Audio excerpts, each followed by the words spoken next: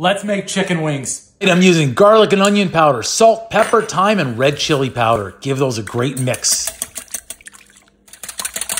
One cup of flour, baking powder, half a cup cornmeal, the same spices you just used.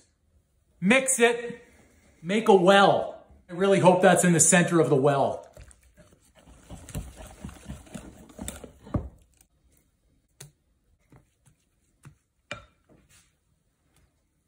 Dip them and drip them.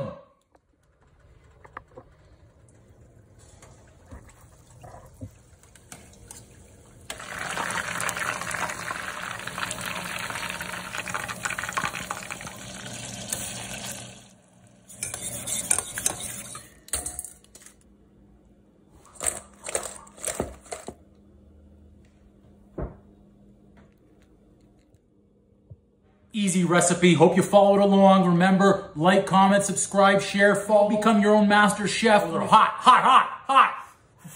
Okay, here we go. Mm. Mm. Those are freaking fantastic. Okay, here's the push and pull. Remember, take your flat, grip it, push it, grip it, and pull it. Mm.